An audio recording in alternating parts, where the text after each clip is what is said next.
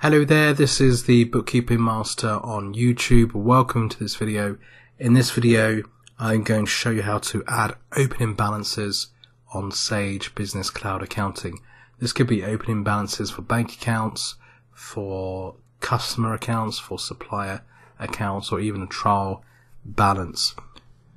What you need to do is obviously go and log into the software Sage Business Cloud Accounting and click on settings which is on this top ribbon here.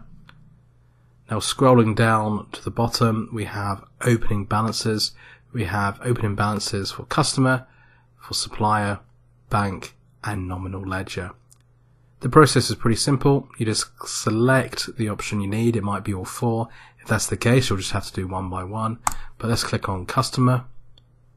You'll then be taken to the customer opening balances screen Click on New Opening Balance and just fill in the details. Something to note is you will need all the customers added to the software before you enter the opening balances. So I've only got two customers added. If you have 10 customers, obviously all 10 customers will need entering on the software. That goes for suppliers too and bank accounts. So you select the customer, you select whether their opening balance is uh, a debit or a credit entry. You know, if they owe you money or you owe them money, most of the time it's going to be invoice, so they owe you. You put in the reference, any details, you could just put in opening balance and then what the actual opening balance is. Once that's done, you click save and then you just repeat the process for each customer. And the process is very similar for suppliers, and the bank and the nominal, nominal ledger. So just go through each of them and enter what is required. Hopefully this has helped.